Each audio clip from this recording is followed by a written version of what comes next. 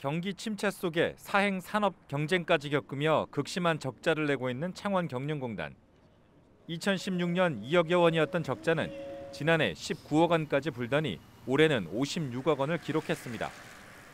이런 상황에서 경륜공단은 해마다 많게는 7억 원의 직원 성과급을 지급해왔습니다. 지방 공기업은 평가 등급이 좋으면 적자와 관계없이 성과급이 지급되는 행안부의 지침을 적용받기 때문입니다. 지역에서 지적이 이어지자 공단은 올해 성과급의 30%를 반납하겠다고 밝혔습니다.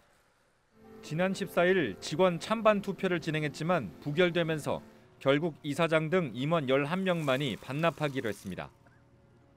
경륜공단 김도훈 이사장은 보도자료를 통해 미약하지만 공기업으로서 책임을 다하기 위해 이번 결정을 내렸다고 설명했습니다. 하지만 공기업의 책임 있는 기대에는 못 미친다는 지적도 나오고 있습니다. 임원 포함 11분의 성과급 30% 반납 1,100만 원이 있었다고 했는데요. 전체 7억여 원 규모에 비하면 굉장히 작은 금액이고 이번 임원들의 성과급 자진 반납 의지가 지역민의 마음을 돌리고 경영 개선과 자구책을 찾는 시작점이 될지 주목됩니다. 헬로티비 뉴스 성국희입니다.